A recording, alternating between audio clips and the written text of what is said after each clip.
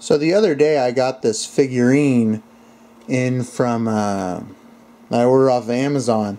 It is Hazumu from Kashimashi and there she is finished.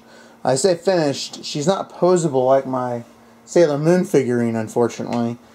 All it does is uh, the hat comes off and she comes with some uh, flip-flops and you're like oh man that's so awesome. I can have very, at the very least put the flip-flops on her. But um, ended up messing up. I don't know if it was supposed to uh, come off like that. But yeah goes right back in thankfully. But yeah it's one of those oh oh the funny thing there is no physical way that these shoes can even go on the toy like, it's just the way the it's designed. It's just, there's no part in the toe. But besides that, my personal opinion about this toy from Kashimashi, um, also known as Girl Meets Girl. And uh, there's no H's after the S, but I've often seen it romanized as Kashimashi or Kasimasi, I guess, is what is there. But yeah, that is a story. I believe the character is like 14 years old about a boy who gets hit in the face by a UFO. They reconstruct his body, but his chromosomes have been damaged, so he had to be resurrected as a, or remade as a girl. And, you know, it turns into a little bit of a harem anime, and I'll go into it uh, much more detail on my blog later. But yeah, um, they start to sell you with the section you know, of this figure has, uh, you know, the face so you know who she is, but then they have the boobs and the butt. Just so you, because uh, you can't do the pose where it's like, ooh, boobs and butt at the same time, you know, which they do in a lot of comic books. Because it's somewhat realistic depiction of a human body. But, um, this is my first one of this scale.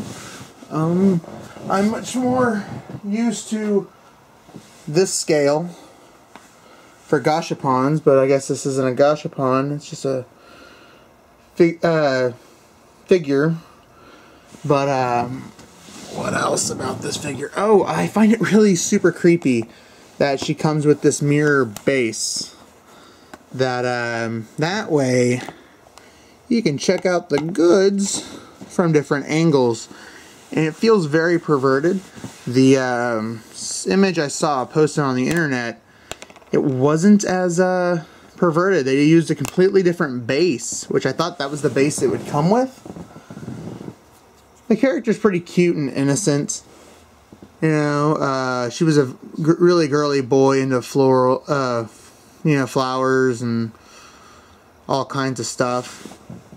But yeah, this is the kind of uh, figure that you're like, oh, it'll be this small and, you know, it won't be weird to have it in my room. Which all my other figurines are way bigger. Or way, way smaller. And yeah, it just feels kind of dirty because you got that mirror base. If it wasn't for the mirror base, it would not be as creepy. I guess it is still pretty creepy though, you know. But that is Hazumu Osaragi. I will want to say this. This is the second figurine that I got from Amazon within the last month. I don't really buy figurines from Amazon, but I don't think I will for much longer because I think it's mainly from UPS. But the boxes I always have been noticing have ended up kind of damaged. And if you're a collector, you won't want this huge crease going down your box. Like I was like, man, the way she looks, maybe I'll just keep it in box. But this made the decision for me. As a collector, you never want that decision made for you. Not that I'm a collector of sexy anime girls or anything like that. It was just, I really liked the anime because it was so cute. That's pretty much all I have to say about Hazumu. Um, if you have never seen Kashimashi, I would strongly suggest watching it if you are okay with the fact that it is an anime series about tiny lesbians. Yeah,